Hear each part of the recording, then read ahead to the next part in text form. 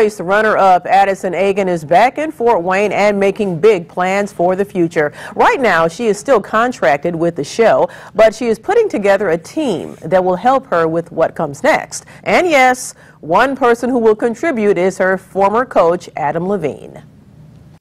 He's extremely genuine and everything he says is honest and true.